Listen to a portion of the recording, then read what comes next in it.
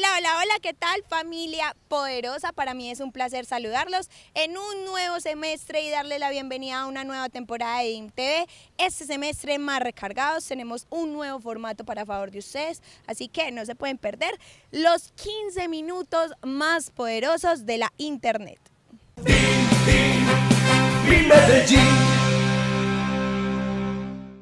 El DIN TV de hoy va dedicado a nuestro nuevo capitán Andrés Ricaurte. Es por esto que iniciamos con una pequeña entrevista que nuestro compañero Jonathan le hizo. Les damos la bienvenida a DIN TV. Jonathan, adelante.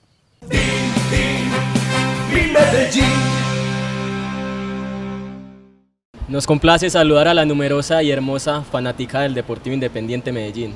El invitado del día de hoy no necesita mucha presentación. Es el hombre de las ideas Andrés Ricaurte Vélez. Andrés, bienvenido y te podemos decir el mago.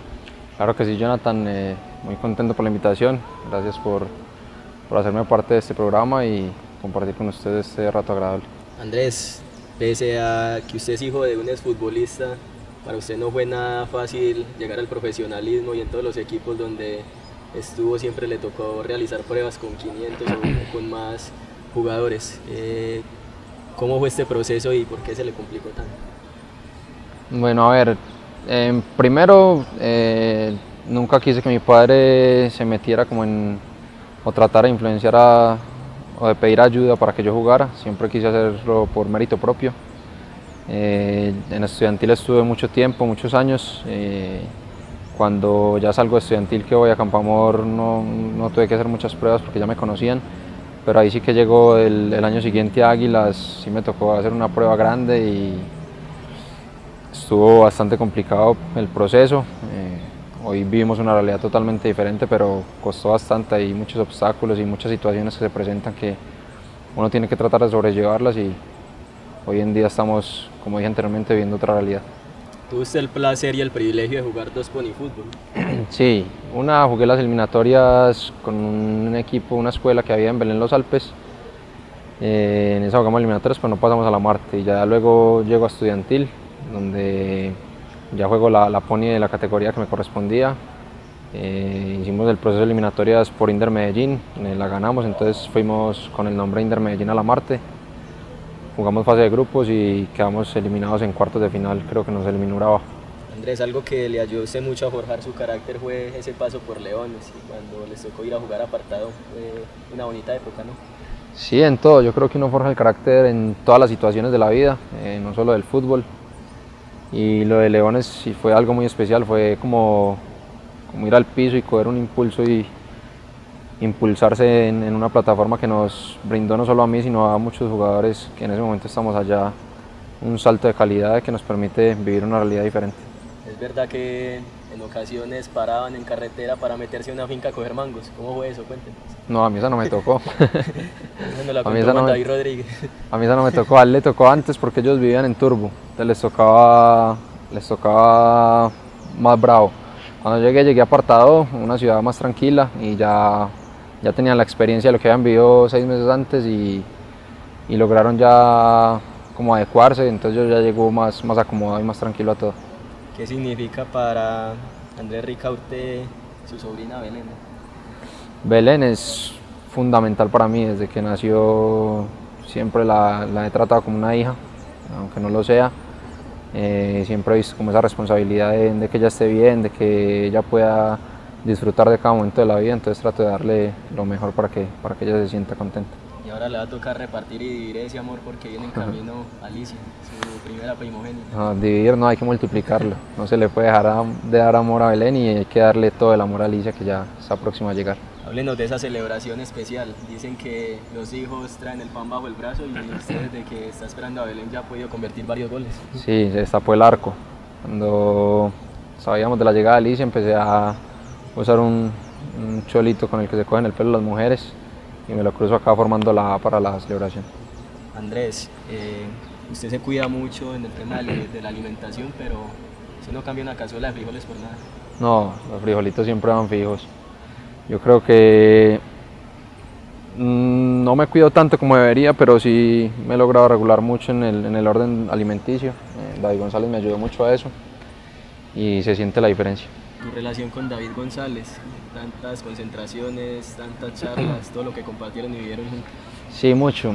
Yo ahí lo conozco en Águilas, eh, ahí lo veía como arriba del todo, como el, referente, el ídolo de infancia de cuando uno se creía arquero y siempre lo manejaba muy de lejos, pues con mucho respeto y él era muy bien conmigo, pero siempre manejándolo como, como a distancia por respeto y, y no ir a incomodarlo. Ahora en Medellín ya la relación se volvió mucho más cercana, eh, empezamos como desde a concentrarnos juntos, a transportarnos juntos y empezamos a compartir un montón de cosas de la vida donde nos identificábamos y, y se disfrutó mucho. Yo creo que todavía si ya no esté él acá, lo, nos mantenemos en contacto y seguramente será una relación que va a perdurar en el tiempo.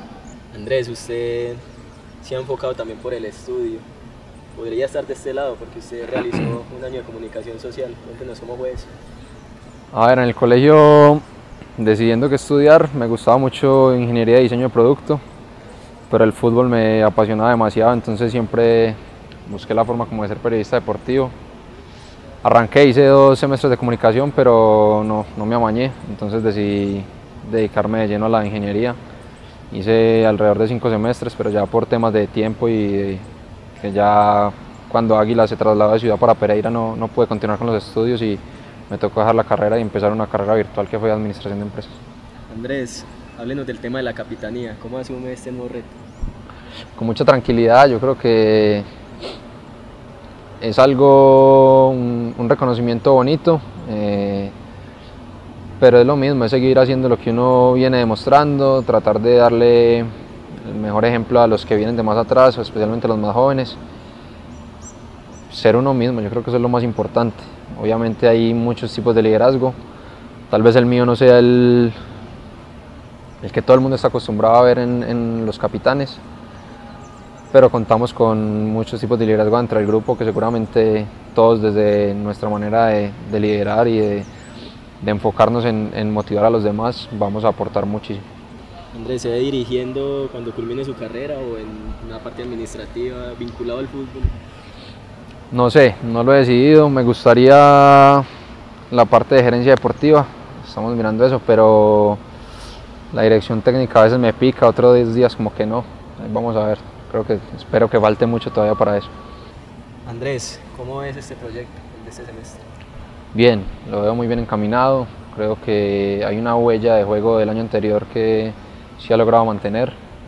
Me parece que vamos por un buen camino y seguramente con el pasar de los entrenamientos y de los partidos se va a ir viendo mucho mejor. Andrés, agradecerte por este espacio, desearte la mayor de los éxitos, que siga haciendo ese ser íntegro. Eh, felicitaciones por, la niña que viene en camino y que en lo profesional y en lo deportivo todo sea lo mejor para vos y para el grupo. No, muchas gracias Jonathan por la invitación, por este rato tan agradable y ojalá que sigamos creciendo de la mano todos juntos como institución.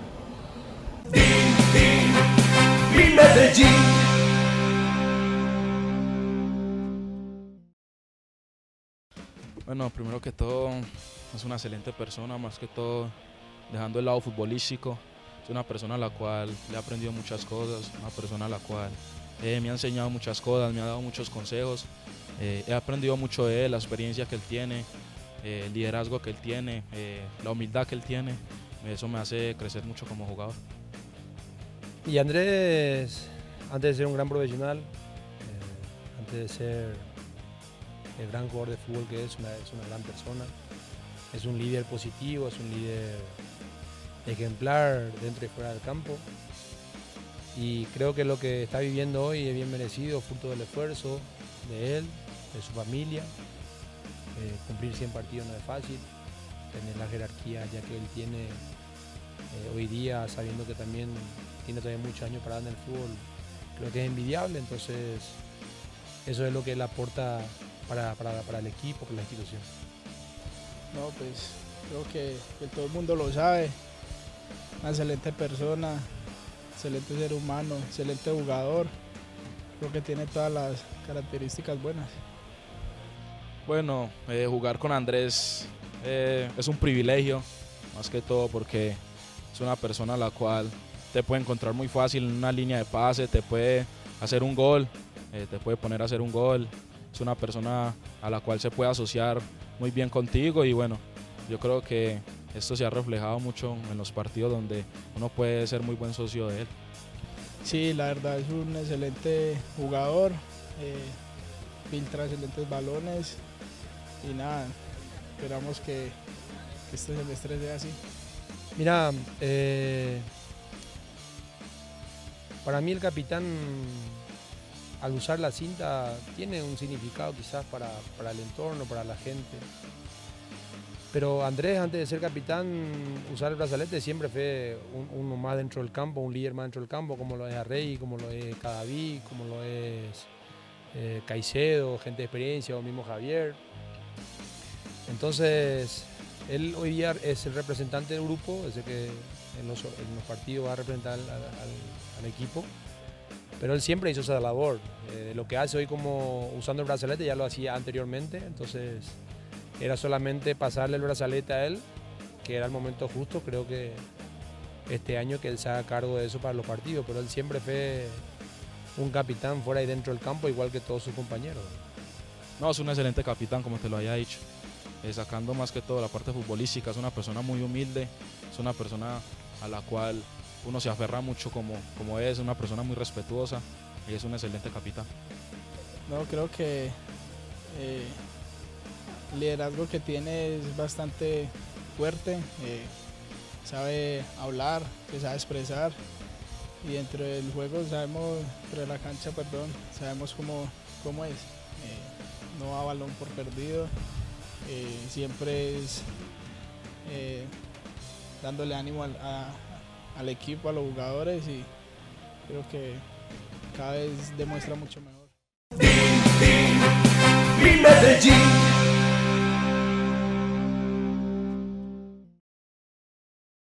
El martes de la semana pasada, Andrés Ricaurte cumplió sus 100 partidos con la Sagrada del Poderoso. Quisimos que algunos hinchas le enviaran sus mensajes y dan lo que nos contaron.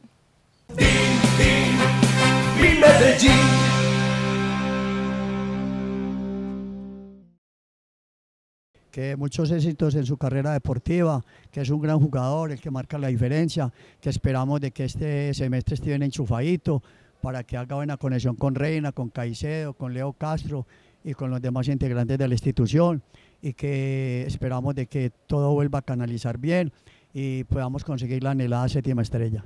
Yo felicitarlos, un, jugadorazo, de los mejores jugadores que han venido a Medellín en los últimos tiempos y como se sacrifica y como lucha. Felicitaciones, Ricardo hermano, ojalá siga así, porque sinceramente usted es el equipo, me quito el sombrero con usted, hermano.